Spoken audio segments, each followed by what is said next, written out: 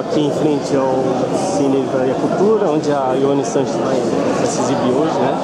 Falar algumas, responder algumas perguntas e aqui ficou marcada a manifestação de apoio dos libertários à liberdade de expressão, né? Que ela tem que infelizmente ela não tem em Cuba, né?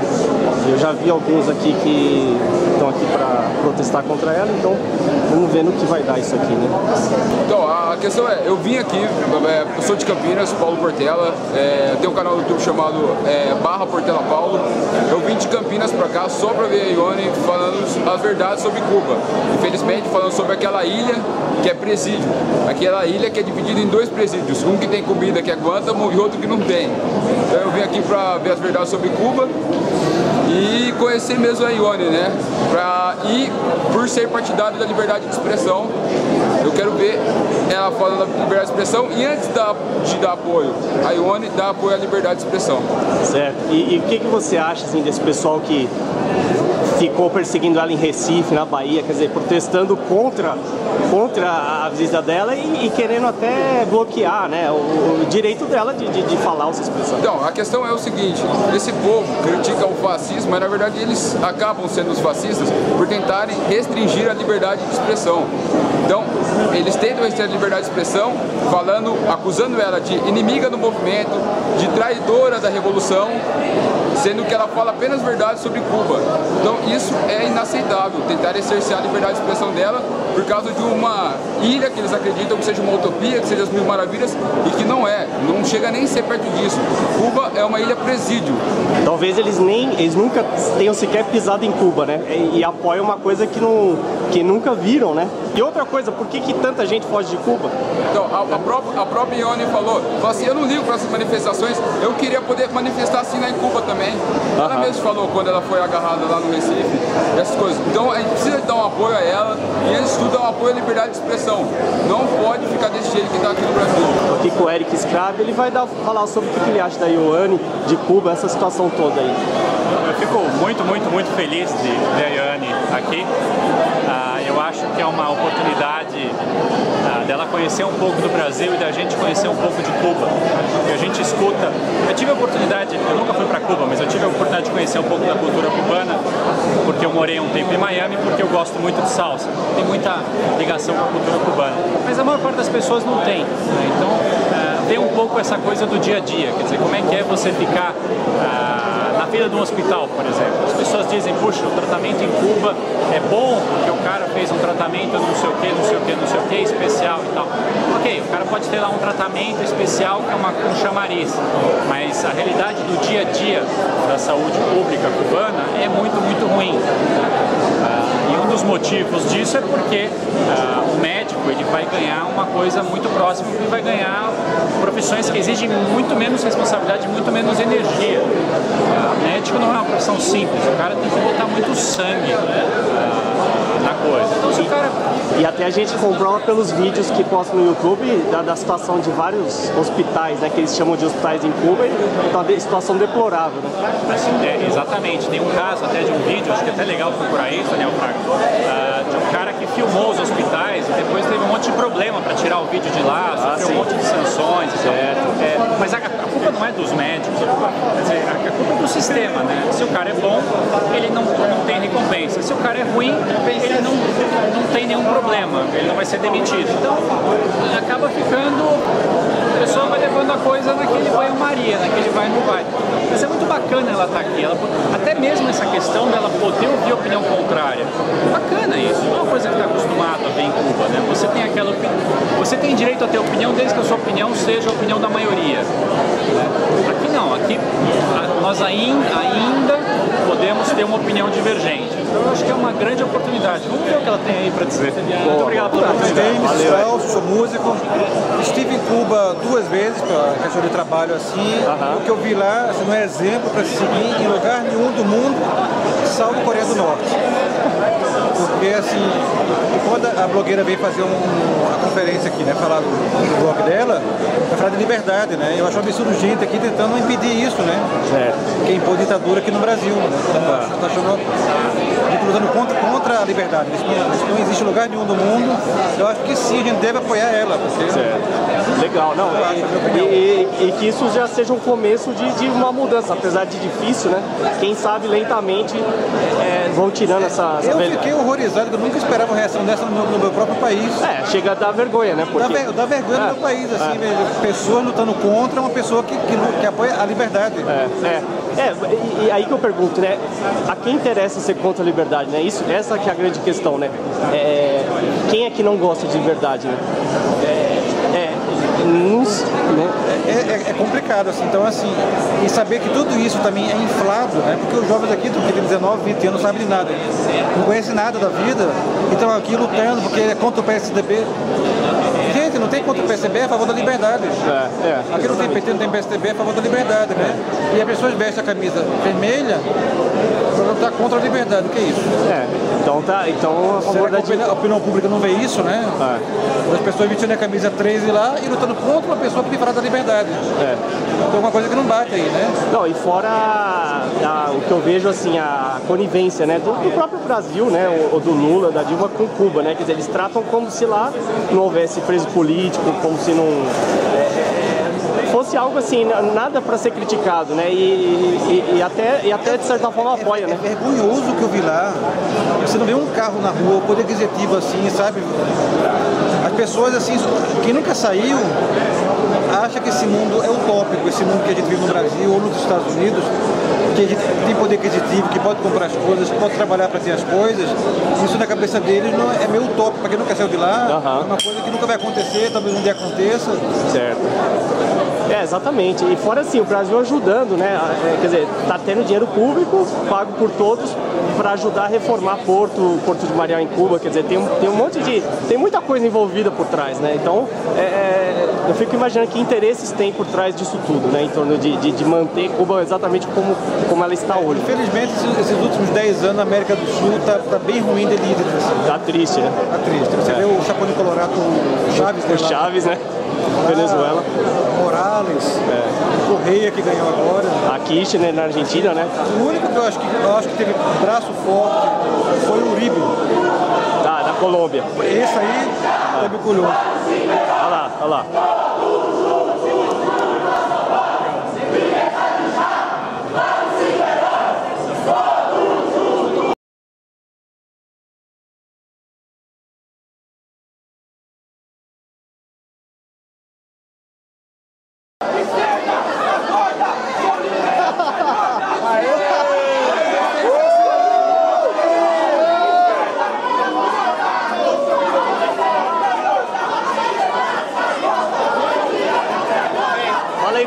Parabéns, pelo canal no YouTube. Valeu. Fa- Fala o que, que você acha disso aí, desse, desse protesto. Bom, é isso, né? O pessoal, o pessoal tá impedindo a Ione de chegar, né?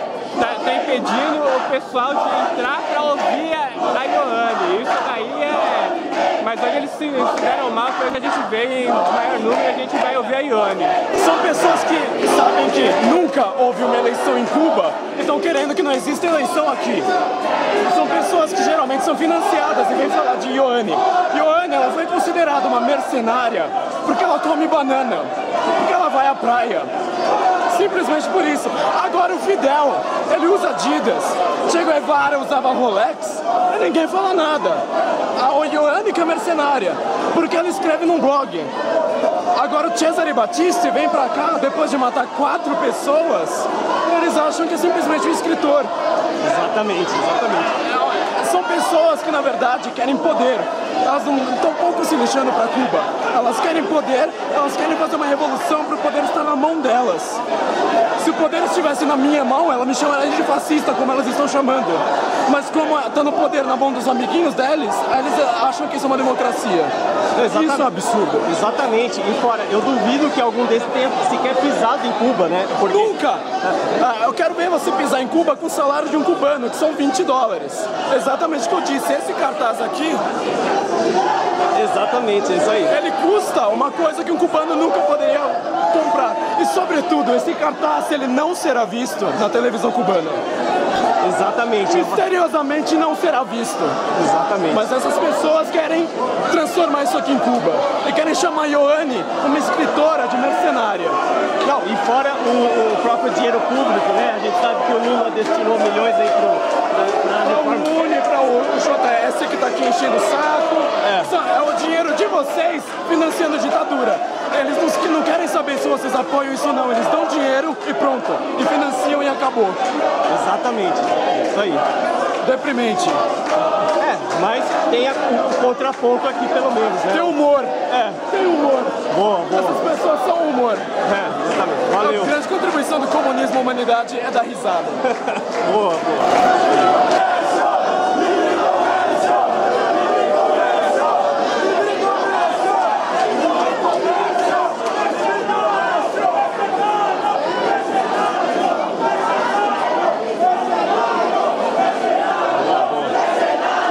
Depoimento sobre isso que eles estão falando? Sobre o que você acha disso aí? É uma pena que isso não possa existir em Cuba. É uma pena que o que eles estão defendendo é justamente o oposto do que eles estão fazendo. Mas não tem problema, a gente está aqui para lutar pelo direito deles também. De um lado gritaram livre comércio, do outro gritaram mercenários. Aonde que alguém coisa é um mercenário nesse mundo? Tá muito errado, tá muito errado, ó. Livre imprensa libertária aqui, ó. Eu, você aí também.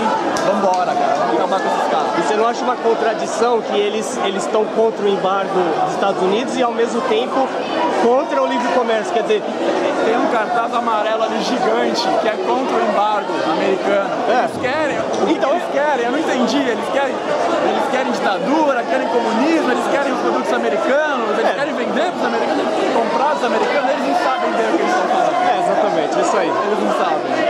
Eu acho que os dois lados do movimento estão competindo para ver quem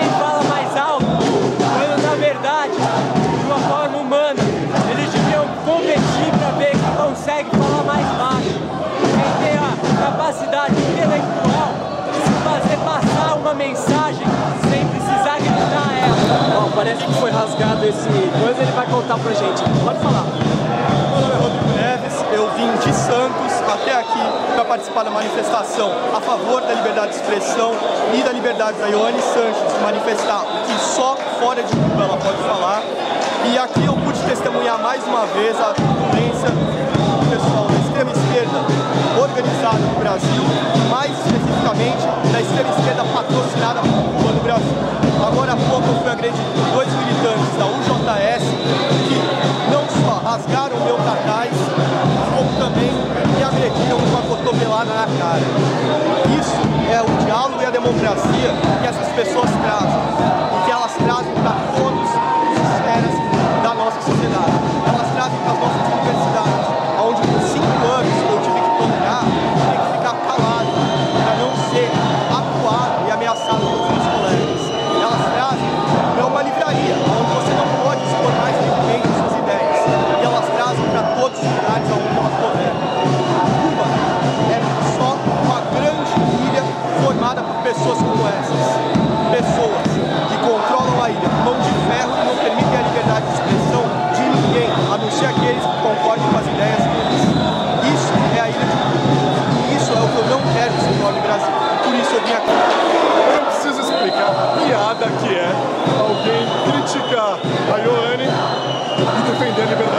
ao mesmo tempo.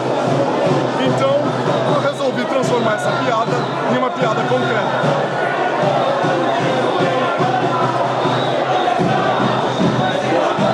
Vou levar a vida com mais humor. Quem sabe assim a gente melhora alguma coisa.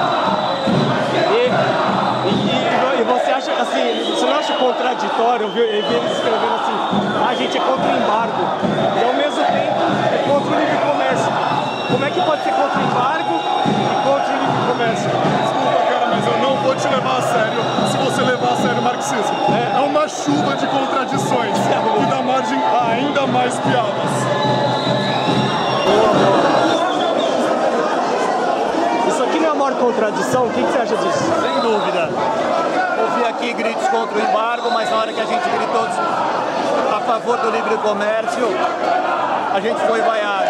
É uma contradição absurda. O que a gente está vendo aqui são jovens absolutamente ignorantes, sem dúvida nenhuma pagos. E é muito triste a gente ver isso. Mas eles estão no direito deles também. Felizmente a gente ainda tem isso aqui, por enquanto. E o, o mais contraditório é que eles não poderiam fazer isso em Cuba, né? De jeito nenhum. Quando a gente grita, quero ver fazer isso em Havana, eles estão olhando com cara de gente está vendo aí jovens mentalmente esclerosados. O que vocês acham do, do, do pessoal que está contra ela, contra a liberdade dela se expressar aqui?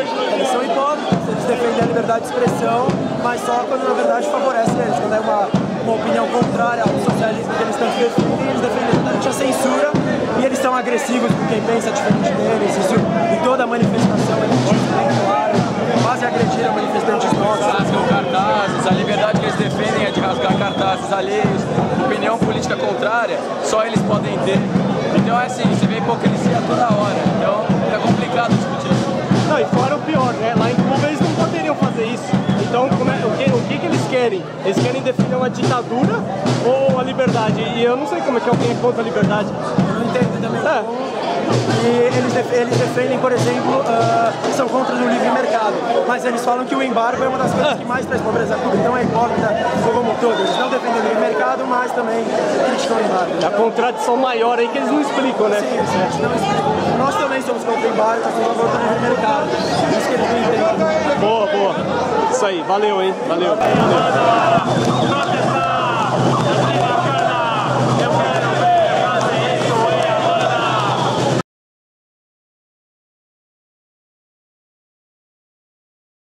Gustaría que hubiera una reforma que permita la libertad de expresión, la libertad de asociación, la libertad de creación de fuerzas políticas diferentes al Partido Comunista, pero me parece que las reformas raulistas no van en esa dirección. Se, se essas uh, vontades, essas tuas uh, ambições são uh, a todo o povo cubano, por que você não é uma pessoa popular? Por que você não é uma pessoa eh, que é benquista lá em Cuba? Bueno, yo no soy la persona indicada. Yo no soy la persona indicada para hablar Fica quieto. o de Educação! Não, tudo bem, mas por que, que você lá não é uma pessoa que as pessoas estão usando como. Eu andaria com santinho, senhor, eu andaria com. Pero lo que te puedo decir es que cada vez que yo camino por las calles de La Habana, cada vez mínimo 3, 4, 5 personas me identifican, se acercan y me dan su simpatía. Justamente antes de llegar aquí, justamente, Não, isso é ridículo, cara.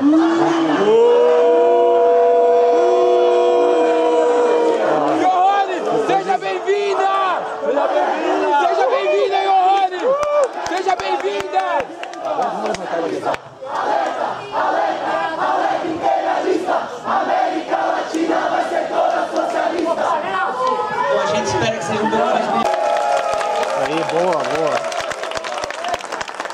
Bem-vinda, Johanne! Seja bem-vinda! Seja bem-vinda!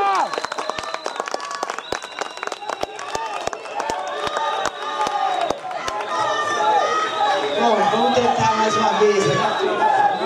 Pois esse protesto. Sobre o embargo.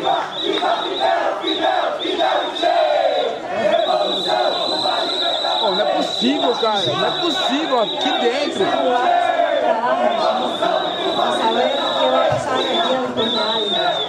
Pero tengo la impresión de que muy poco, muy va a. Porque especialmente el, Cuba es un país que tiene poco, pocos recursos financieros para comprar fuera, ¿no? A veces no se compra más, no por el tema del embargo, sino porque la improductividad del país, los pocos recursos materiales, la ineficiencia, el colapso económico no permiten comprar.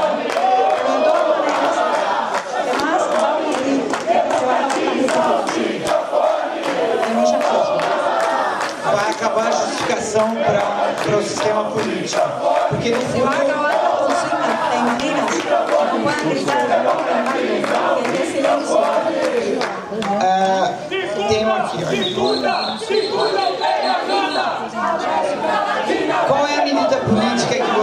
propõe? Qual seria a medida política primeira se houvesse realmente a, a distância, se houvesse a abertura completa? Se o Raul Castro Mendes disse, bom, agora nós vamos fazer um regime democrático, de fato, o que você acha que precisaria? É, o que que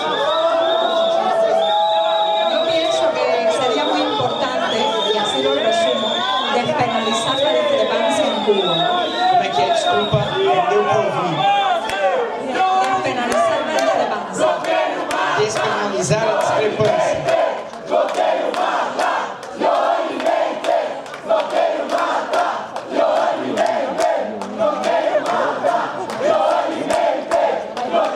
Eu quero muito falar, seja bem-vindo. Aqui tem um dizendo o seguinte, é um venezuelano, ele pede uma mensagem para os venezuelanos que vivem exilados. O que, que você diria para que eles tenham forças para voltar para um país tão decadente?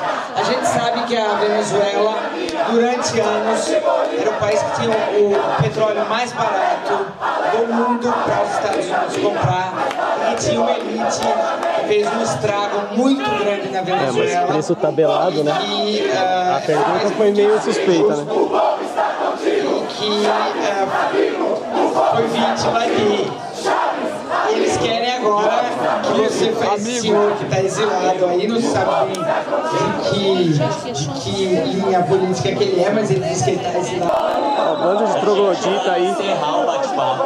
Todo mundo vai sair perdendo porque ó, um grupinho aí se acha que pode falar mais que os outros. Olha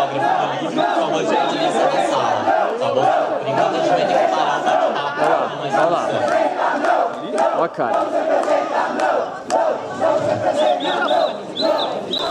Final eles conseguiram o que queriam, ou seja, estragar o evento, né, acabar antes da hora. E é isso que eles querem. É a, é a o único objetivo deles é calar e colocar uma mordaça em todo mundo. Né? Não, não tem. Esse pessoal não defende liberdade, eles são anti, anti-liberdade. Né?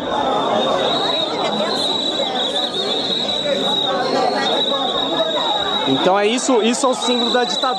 É um grupo, um pequeno grupo com seus interesses querendo dar ordens para a maioria.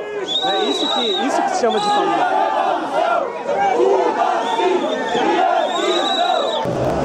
Eu queria dizer que esses barraqueiros todos que estão dizendo que conseguiram o que eles queriam estão enganados. Porque o silêncio dela diz muito mais do que qualquer coisa que ela pudesse ter falado. Só isso. Acabou o entendedor, minha palavra já basta. Você Valeu. pode final. Valeu.